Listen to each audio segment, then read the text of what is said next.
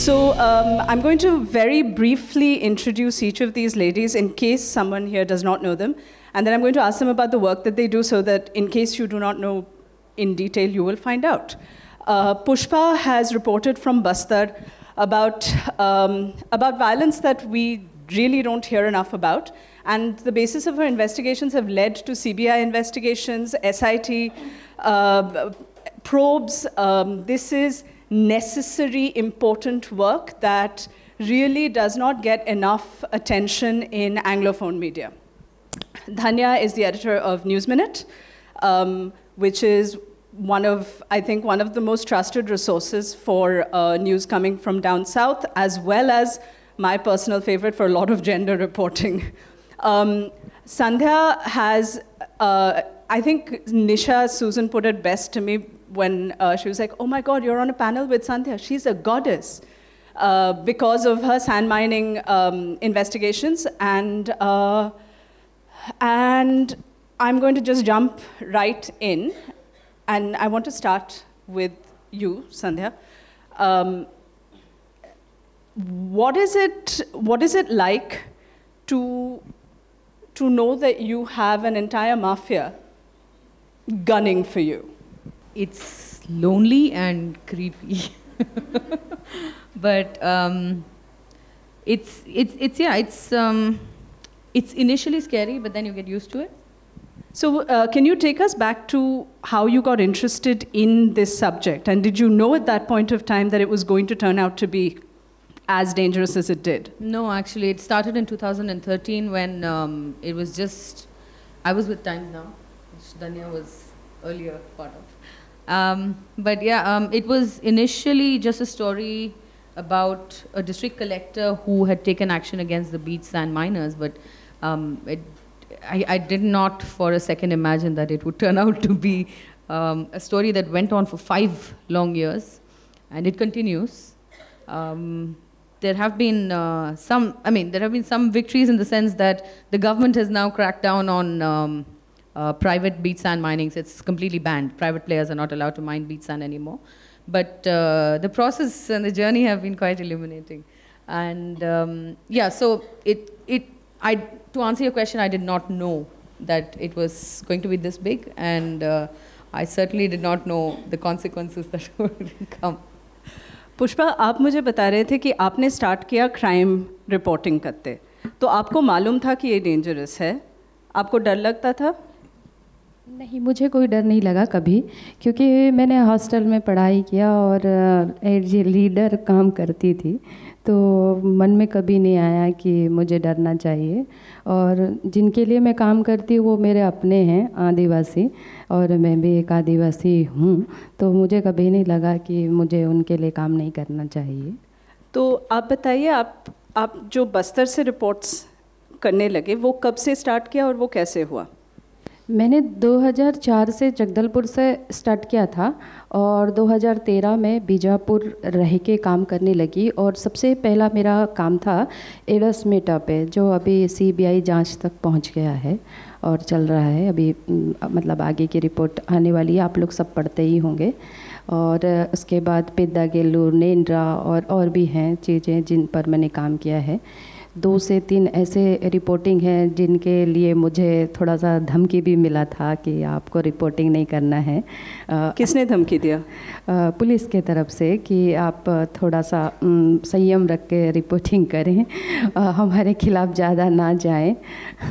क्योंकि कई चीज़ें हैं जो आप फ़ील्ड पे जाएँगे तो पोल खुलने लगती है तो लगता है ना कि हमारी पोल खुल रही है तो हमको थोड़ा सा मीडिया पर्सन है तो उसे बोल लें और शांत करवा लें तो बस वो मेरे तो साथ तो वो बैलेंस आप कैसे रखते हैं? क्योंकि पुलिस चाहती है कि आप एक वर्जन दिखाएँ सबको और आप काफ़ी टाइम ऐसा है कि दूसरा वर्जन आपको दिख रहा है तो आप जब रिपोर्ट कर रहे हैं वो बैलेंस आप कैसे लाते हैं?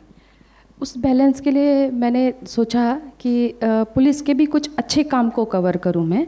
तो सीआरपीएफ है, वहाँ बीजापुर में आप सब जानते ही हैं।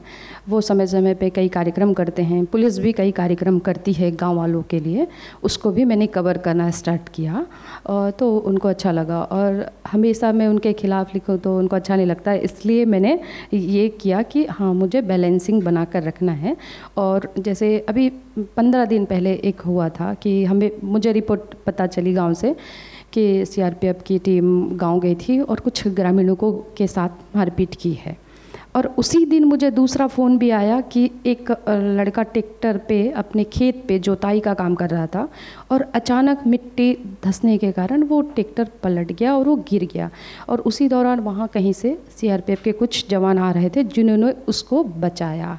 उस ट्रैक्टर से निकाल के तो मैंने इसको बैलेंस करके लिख दिया। हाँ मतलब उनको बिल्कुल बुरा नहीं लगा उसके लिए। और मैंने बाकायदा डीआईजी से आ, मतलब उसके लिए बाइट भी मांगा और लिया भी तो उन्होंने कुछ नहीं बोला फिर। Dhanya, as an editor what what do you feel when you have to assign a reporter to a story? Uh, what do you, how do you respond to what would be considered a high risk situation?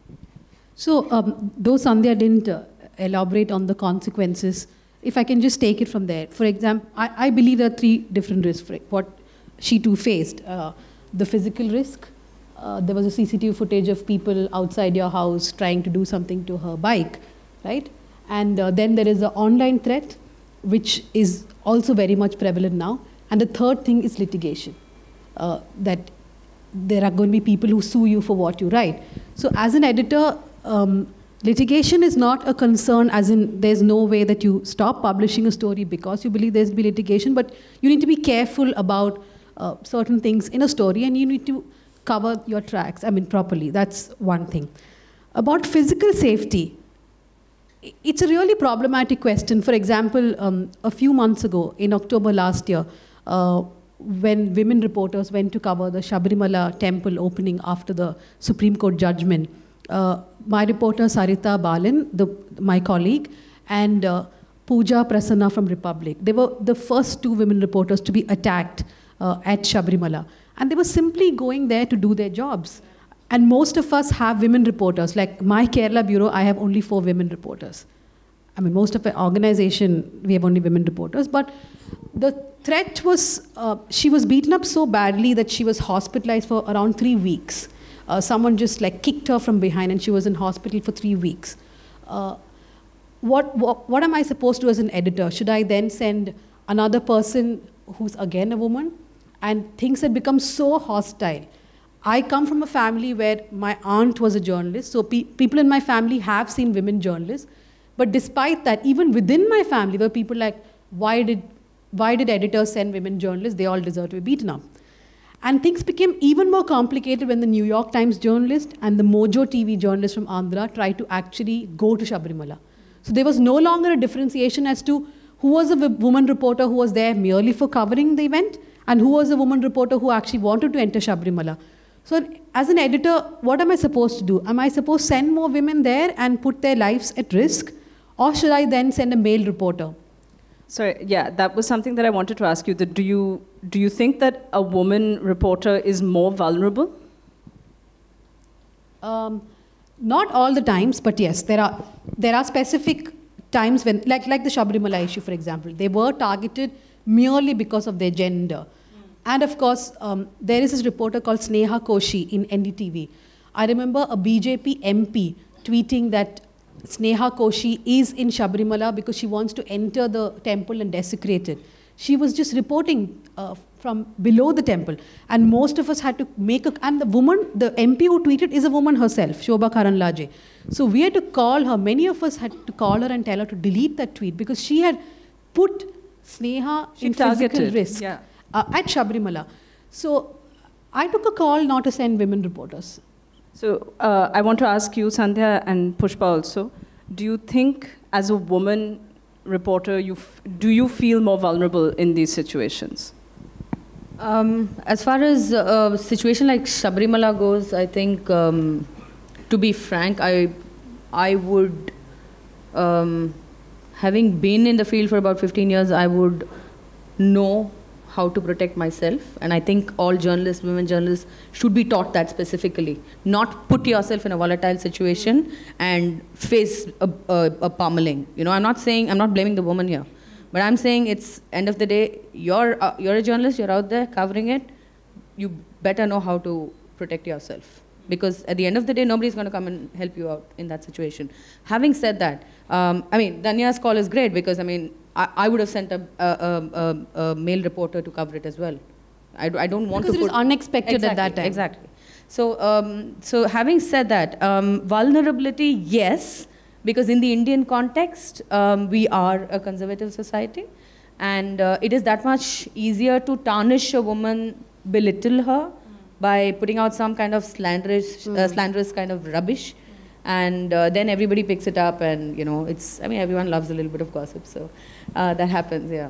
Pushpa आपको क्या लगता है कि औरत होने के नाते आपको दूसरे लोग कमज़ोर सोचते हैं? आपका कोई डिसएडवांटेज रहता है जब आप रिपोर्ट करने के लिए निकलते हैं? हाँ मुझे ऐसा लगता है क्योंकि कई जगह ऐसा होता है कि जब मैं रिपोर्टिंग के लिए जाती हूँ तो खुद मेरे साथी भी थोड़ा सा हट के थोड़ा अलग सा बात करते हैं, देखते हैं।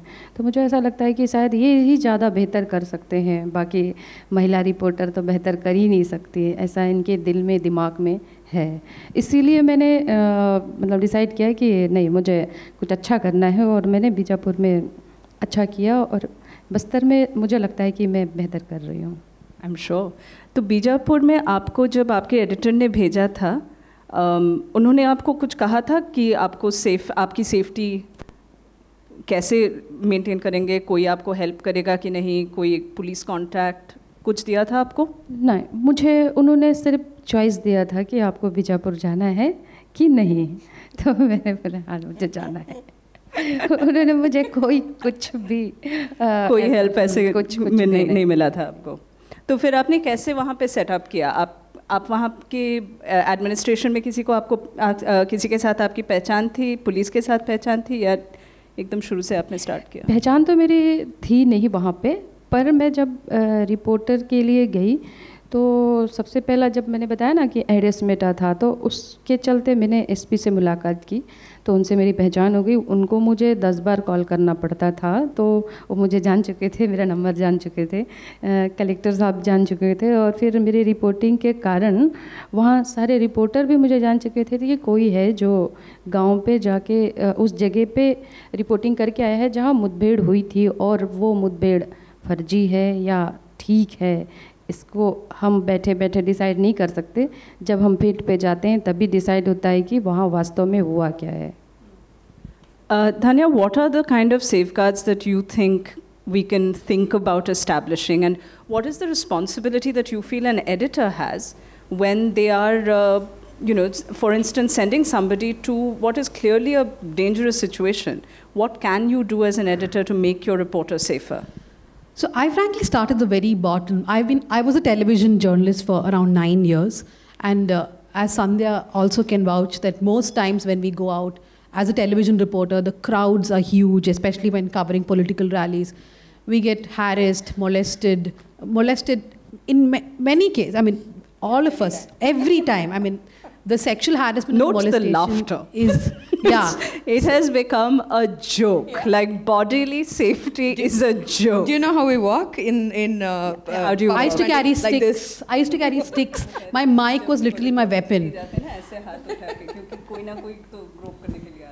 But sometimes it, it, it's actually serious. Like I had a really horrible experience once.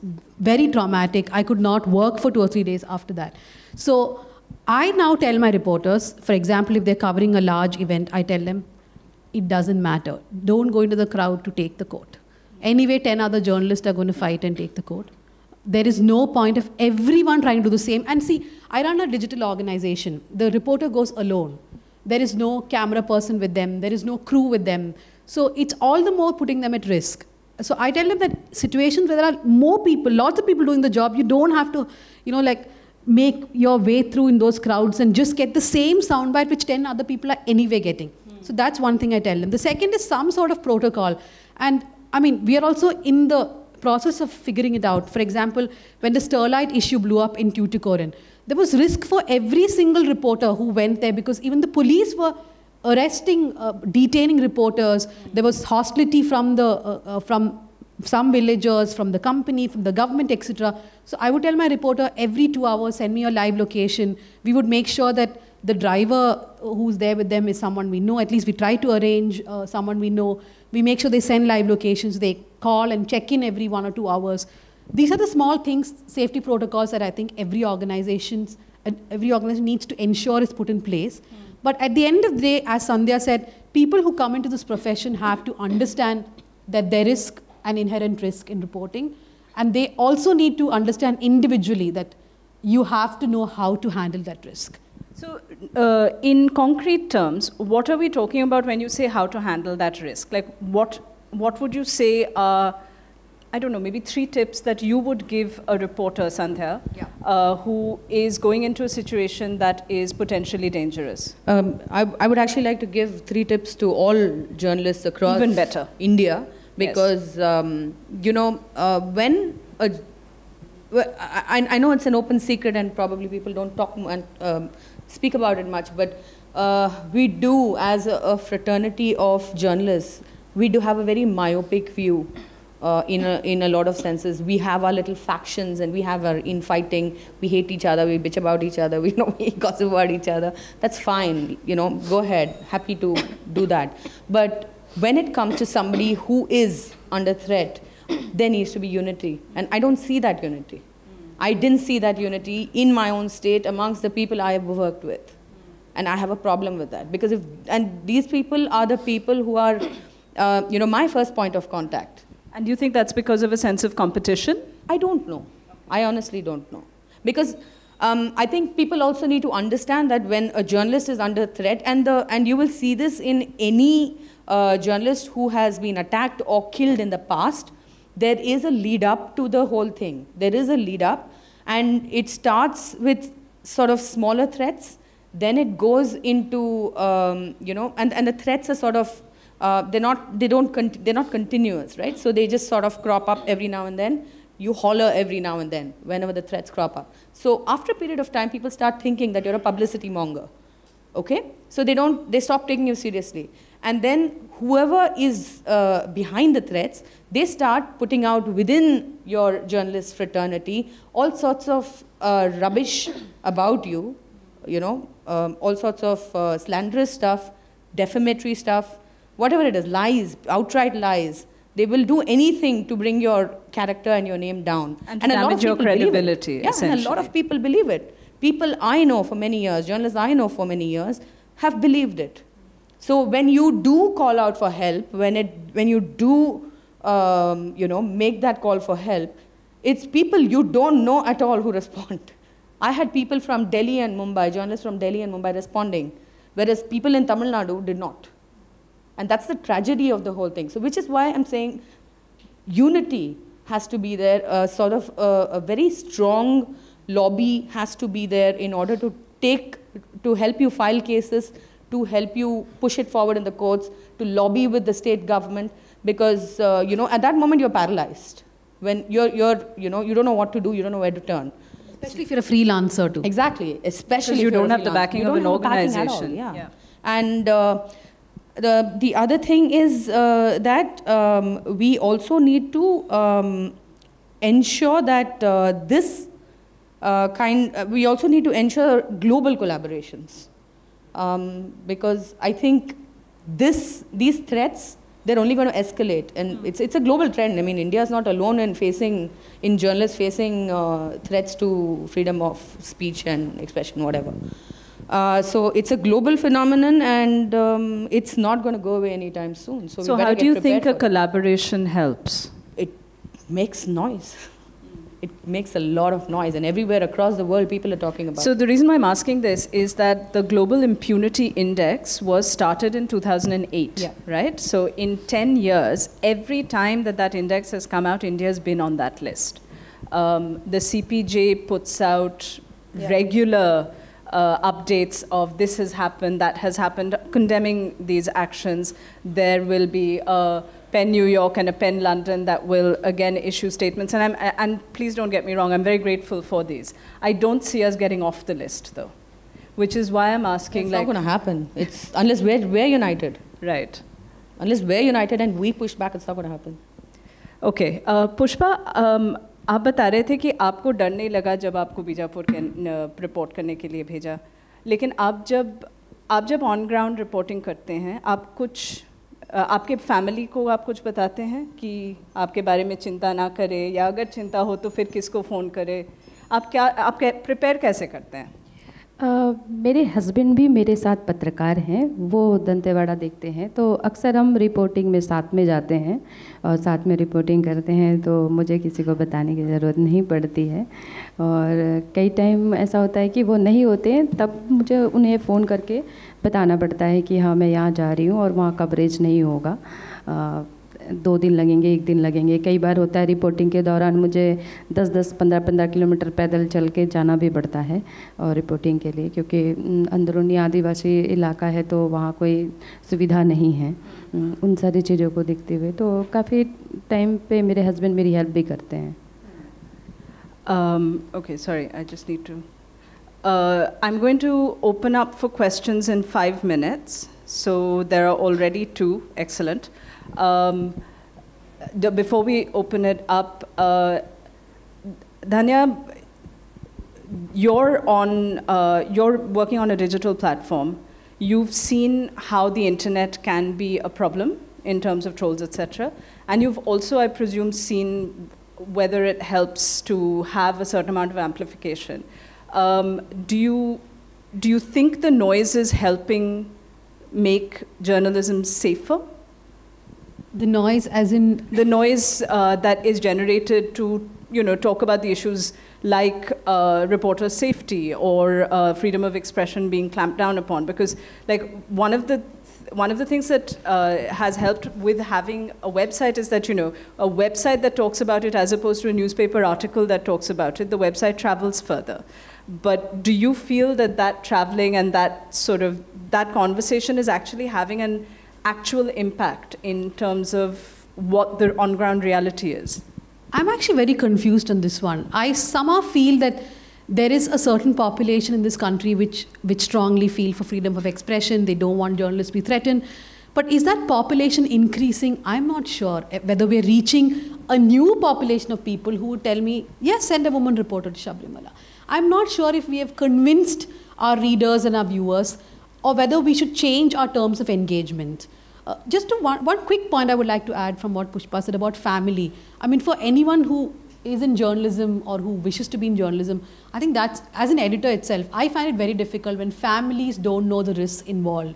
Most times, reporters tell me, but my dad is too scared, my husband doesn't want me to go. Uh, they don't want to even cover um, natural calamities because their families don't understand the risk. you were saying that you ended up going for the kerala floods Yes, because I was actually scared if something happens to a reporter, then I am responsible for what happens to she's them. And- mostly scared about the parent who'll be like my child You know, really, that because most Yes. people who work with me are 21, 22, 23, 24 years old.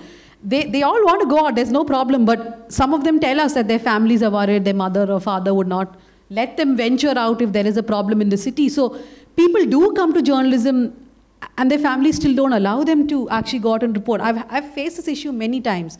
And the question, um, going back to the question again, the noise definitely helps.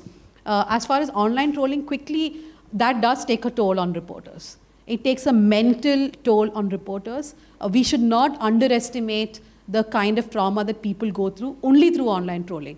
I mean, uh, for having an opinion, for simply stating your opinion, for a story that you do. Like there are so many reporters, like like Neha Dixit, the kind of trolling that she's subjected to for a story that she does, for a genuine piece of journalism. It is really traumatic.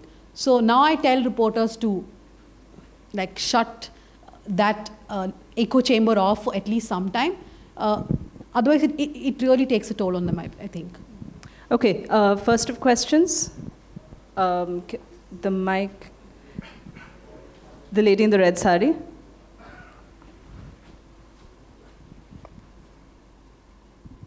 Hi, uh, I'm Aruna, major fan of Oh, everyone sorry. on Can you panel. can you stand up, please? Okay. Um, hi, Aruna, major fan of everybody on the panel.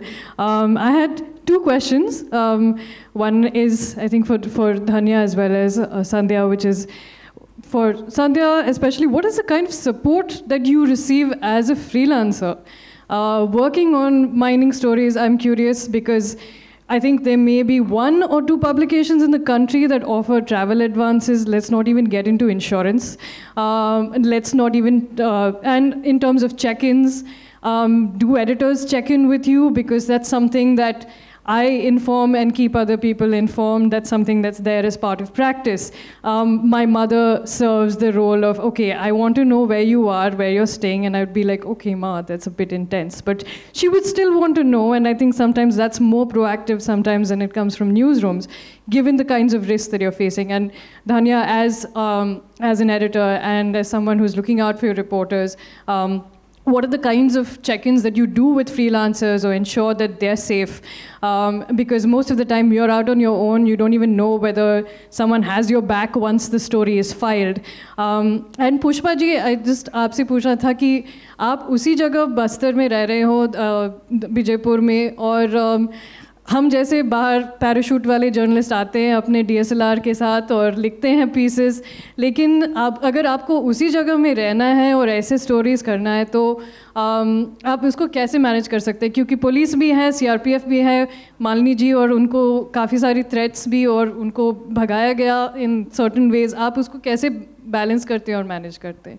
मैंने पहले ही बताया कि मैंने खबर को लेके दोनों को बैलेंस करना सीख लिया है, क्योंकि थोड़े टाइम के लिए मेरे साथ भी दिक्कत आई थी, जब मैं रिपोर्टिंग को लेके सिर्फ़ एक के ही लिए लिख रही थी फिर मैंने देखा कि थोड़ी सी दिक्कत आ रही है तो मुझे इनके लिए भी लिखना चाहिए तो कहीं जवान अच्छा काम भी करते हैं जिसको लेके मैं लिखती हूँ तो अगर फर्जी मुठभेड़ को लिखती हूँ तो जवान ने जहाँ अच्छा काम किया उसको भी लेके लिखती हूँ तो मेरे खबर बैलेंस हो जाते हैं Sandhya? Okay, you asked about how we deal with freelancers. So the first thing as an organization, we promise if there's litigation, we will stand with the freelancer. There is no doubt about it that the organization and the and the lawyer who we employ will will take care of the litigation. We've had that issue only once. Uh, there are of course threats that, uh, for example, Rohini Mohan had once done a documentary for us. Uh, uh two documentaries. One was on Amaravati and sec- on the capital Amaravati and how the land pooling was just wrong. And uh, the second was she had done on bonded labor in Coorg tea plantations or coffee plantations. The number of threats we got for both the stories, especially the Coorg plantations. We were getting calls to office. Rohini was getting threats on her phone. Uh, there were numerous threats. I mean, at one point of time, we were not sure how to handle it, but we told Rohini that whatever happens, we will we will face it together. See, but I think Sandhya would be better to speak about litigation because you have been sued for stories which you have freelanced, right? So Sorry, I'm just going to button for one second. Uh, I'm not going to name the publication or the journalist because I haven't spoken to them, so I don't know if they'd be okay with, uh, you know, naming. Um, but uh, they had worked as a freelancer, done a story which went on to get uh, extremely negative reactions from those it had exposed, and the publication dropped the journalist in hot water leaving them to pay for their entire legal fees, went on for years, got zero support. So uh, it, again, like, um, systemically, we don't have a media industry that stands by freelancers from what I know. Um, it's not, yeah, it's not uh, cast in stone, so you're going to have to do your research before you pick the publication. Some of them do, like The Wire stood, um, stood by me and my stories. They got legal threats, whatever. Um, ET, Economic Times, which was the first article, first uh, publication which published this, they have, th those cases are continuing. Apart from that, there are several other, uh, um, you know, uh, cases, defamation cases. The best thing that a freelancer should invest in, in my opinion, is to befriend a good, wealthy lawyer who will fight your cases pro bono because you cannot afford it ever. there are some foundations which give funding, like there's this foundation which gives funding to a lot of websites. A part of their document also says that if there is any litigation for a particular story, let's say I am making a freelancer write that story, and there is litigation, then the organization is also bound to be part of that litigation. So I think those kind of clauses also help. But the problem is like we don't sign any document with freelancers. I wish we had a document, but I, I know that I don't have. I, I don't know if the buyer has or other people have, but no. maybe we should have more contracts where we spell these things out correctly. I think that would be a very yeah. good idea. And if there is a pro bono lawyer in the room who would like to draft, please put your hand up. I know a lot of Aruna may need one. Okay. Uh, uh, next question. Uh, yes.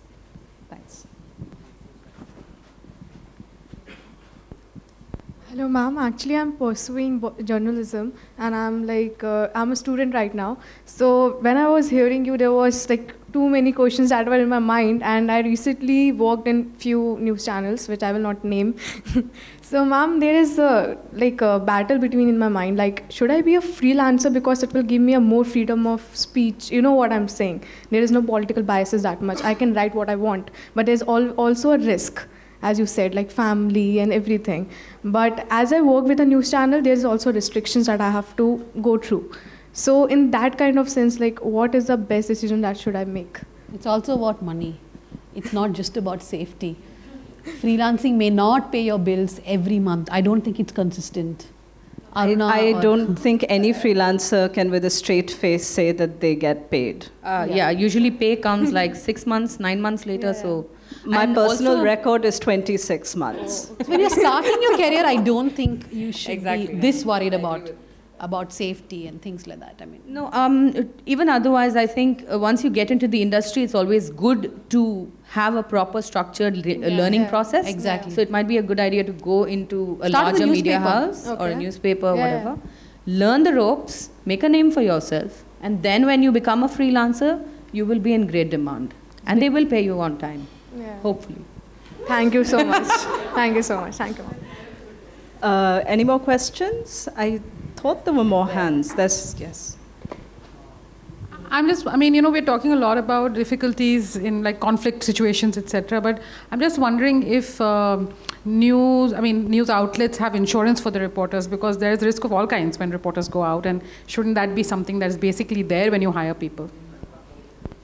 I guess news organizations should have. I mean, we are As trying you can medical tell insurance. from the shocked expressions across the panel, like, you've what? just hit us left field. We don't even have this contract. idea of insurance. yeah. I just told her I got paid 26 months later for a freelance article, and you talk about insurance. But anyway, we are far away from that. I I think we should start with contracts first, like proper contracts as to what is the money involved, when the payment will be done, and what happens if there's litigation.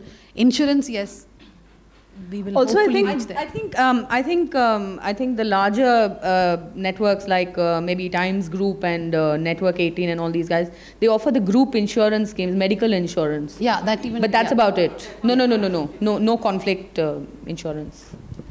Um, also, I, I, do think it's worth pointing out that you know when we're talking about high risk uh, journalism as a high risk profession, um, it the risks are varied right? Like there's a risk in terms of mental health, there's a risk in terms of physical safety.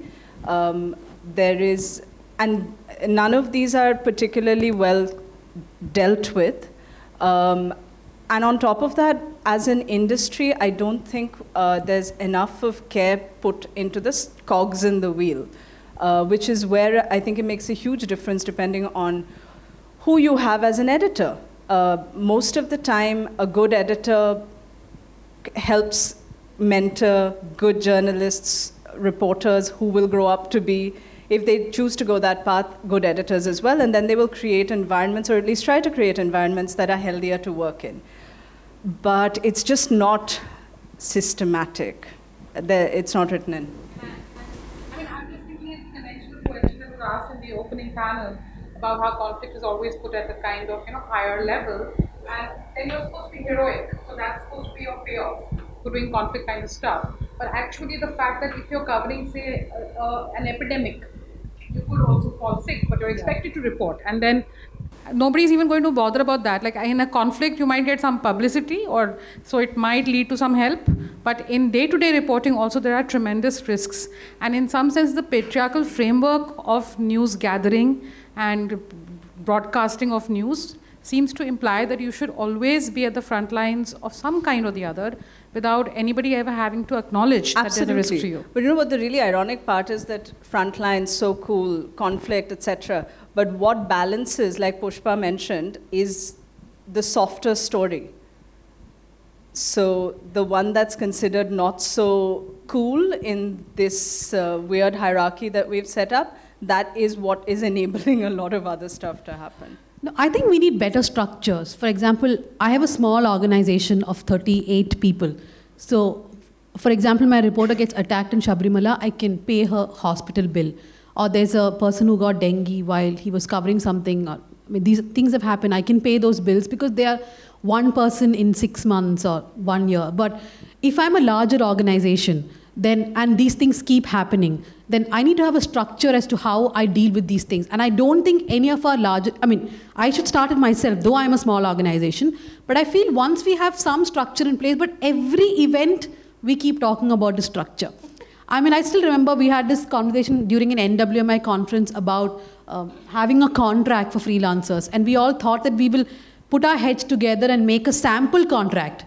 But I don't think even that has progressed. So, Disha, um, yellow sari. Um, so I wanted to say, just to respond to uh, Dhanya and, and uh, Paro, that um, what, what is the criteria for measuring the success of a media organization? And um, we've really, really struggled with this, to have women journalists, to have Dalit journalists, to have women in, in you know, re remote, not conflict kind of reporting, just everyday reporting. And um, the criteria of success is um, unique views on your website, which no one in central UP goes to a website. Uh, that's not the way that news is accessed. Um, but is it that you have contracts? I mean, we've always had contracts for freelancers, for full time. We've always had life insurance. So, but the thing is that in this digital kind of, um, and I'm, I'm on a panel on, on the business of, of media. So you report on on the views that you get and you report on the impact of stories and this doesn't count as impact. Having human resource policies doesn't count as impact. Having safety and security. I mean do people really want women and dalit women to be in newsrooms and be out in the field? Because then there's a cost to that and nobody wants to bear that cost. You're right. I, I mean i'm ashamed to admit it but you're right. It's absolutely right. And that's why we have as as undiverse uh, newsrooms and as hierarchical setups as we do, um, and as unfair a system in place as we do. And, uh, and like you said, I think the number of times that we uh, have these conversations, then we're like, oh, we must change this, we must change this, and then the actual work that is required just doesn't seem to come together. Um, and hopefully, like I said, someone draw up that contract. Okay. Uh, one more question, and then we have to wrap up. Do we have one more question? Can oh. I just make a point quickly? Yes. Um, I just want to make one small point about uh, the eroded credibility of journalists in general and uh, the need to restore that. And uh, a lot of people might have a lot of ideas, but I think a lot of the attacks, whether they're verbal or whether they're online, whether they're physical, whatever, lit litigation, whatever it is, I think a lot of this stems from the erosion of credibility of journalists. And I don't know that, I mean, I'm sure there's no one size fits all solution, but I think that's a conversation we need to start at some point. Sure. But at the same time, you know, I mean, we are also we've also got on our panel someone like Pushpa who wanted to be a journalist because it lets her tell stories stories and voices that were not being heard, she saw that she could make a difference with it. And that's why she picked this profession.